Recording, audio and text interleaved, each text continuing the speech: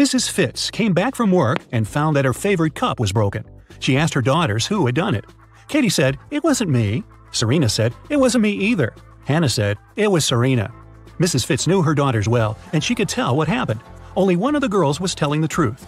Can you guess who broke the cup?